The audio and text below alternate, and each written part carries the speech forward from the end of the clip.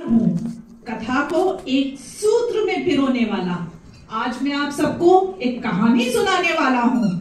अरे वाह सूत्रधार आज तुम किसकी कहानी सुनाने वाले हो? मेरी या खुद की? नहीं नटी न मेरी न तुम्हारी। ये सारी नमस समस्त नारी जाति की कहानी है। हम सभी जानते हैं नारी प्रकृति का एक ऐसा रूप है जो अपने आंचल में अनेक रूप समेटे हुए है। हाँ जैसे निस्वार्थ जननी, मार्गदर्शिका बहन, अन्नपूर्णा जीवन संगिनी और सबल प्रेमिका।